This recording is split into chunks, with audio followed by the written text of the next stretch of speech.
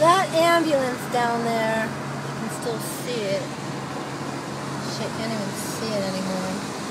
Was in front of that cheapish kind of, there's the ambulance. Was in front of that one in the left lane.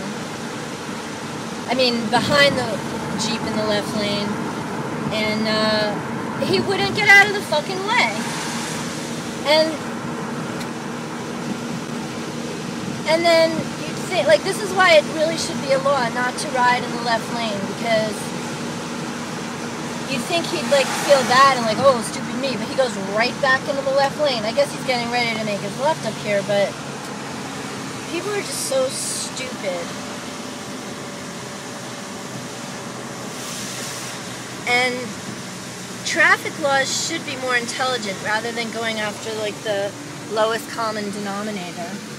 Fucking stupid woman.